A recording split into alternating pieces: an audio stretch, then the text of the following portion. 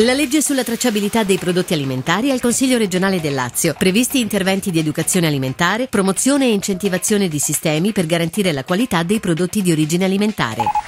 Ammontano oltre 7 milioni di euro i finanziamenti alle piccole e medie imprese erogati da Filas SPA. 68 i progetti innovativi finora coinvolti. I bandi resteranno aperti fino al 30 giugno 2013 o a esaurimento dei 58 milioni cofinanziati dall'Unione Europea.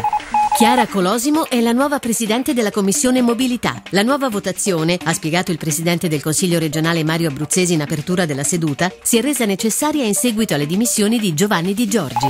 Ok dalla Commissione Affari Istituzionali all'erogazione a favore di Sviluppo Lazio di 400.000 euro per la copertura delle spese di gestione e le attività di risorsa SRL in liquidazione per il periodo dal 1 gennaio 2011 fino alla data di scioglimento.